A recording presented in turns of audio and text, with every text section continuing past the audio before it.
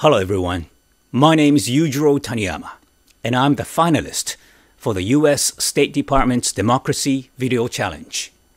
And today, I'd like to make a quick speech about the territorial disputes in Asian waters, especially the Senkaku Islands that lies just 170 kilometers off the coast of Okinawa, Japan. In this Washington Times article, it goes like this. The 1969 map produced by the People's Republic of China Map Authority and labeled confidential lists the islands as Senkaku, the Japanese name, and contains a dividing line south of the islands indicating that they fall within Japanese territory. What do you say, ladies and gentlemen? This is 1969. An official map produced by the Chinese government authorities, which says confidential. The Communist Party tried to hide the truth of the Senkaku Islands, that it belongs to Japan, from its own people. That's the fact, ladies and gentlemen. No Chinese, ladies and gentlemen, has ever set their foot upon the Senkaku Islands. They've never lived on those islands. And if you're Chinese, and if you claim that the Senkaku is Diaoyu, the way you call it, and you own the islands, the territory, please, please show me the proof. Please show me the evidence that you people had lived there before. I don't think you can. I don't think you can give me the evidence because the Chinese people, they never have. I'm talking about the fact here, the truth. Whereas we, the Japanese, we have the proof. We lived there over 100 years ago. The photographs, I'm going to show you just in a minute. It is a hard evidence that proves that the Senkaku Islands belongs to Japan. In 1896, Japanese government gave permission to Koga Tatsushiro, who was a wealthy businessman from Kyushu, to go to Senkaku, go to the Senkaku, and build fish flake factory there to do a little business. Furthermore, Koga Tatsushiro also built the albatross factory. You know those birds? He took the feathers out and sent those high quality feathers to Europe.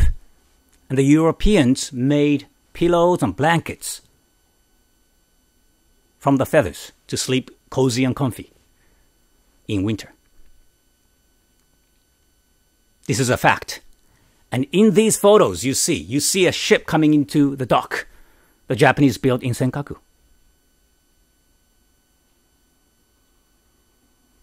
This is a fact, ladies and gentlemen. And at the peak, over 200 Japanese citizens actually lived on this island. There was a community there. And the significant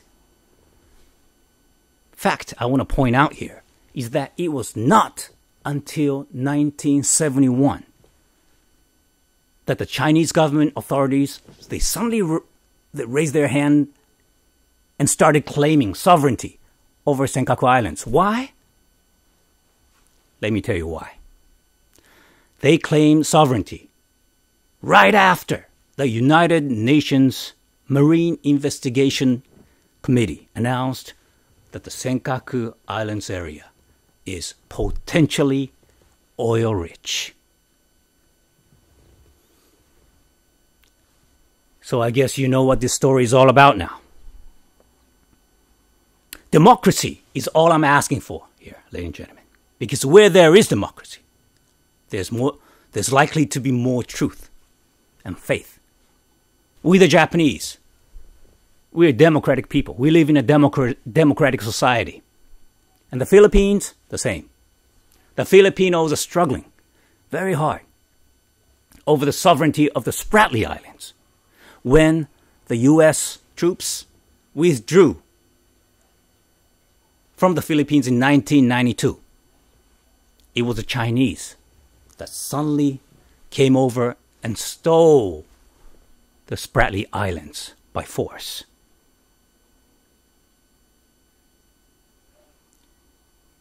The Vietnamese, they've been struggling too against the Chinese over the sovereignty of the Paracel Archipelago.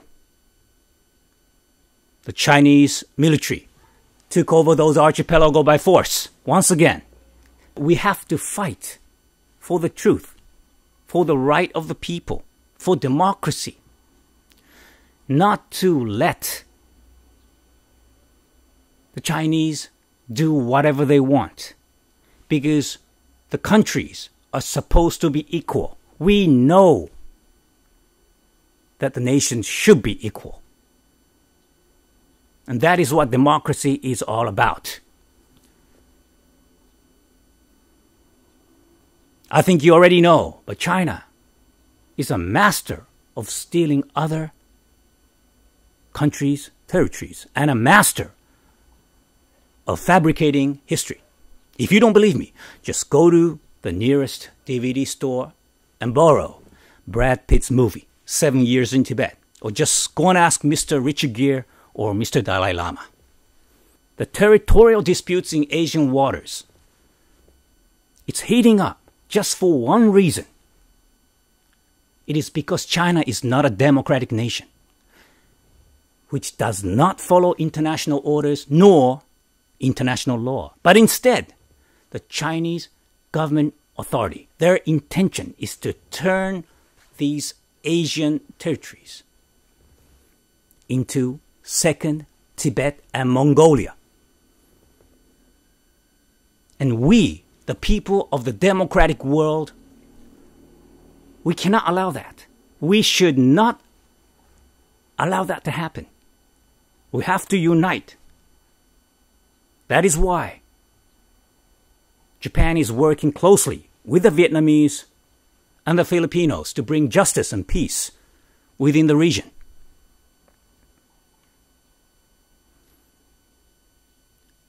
Thank you very much for watching this long video clip. Democracy is what I value and hopefully what you value as well. Just remember one thing, ladies and gentlemen. Please be careful. Thank you.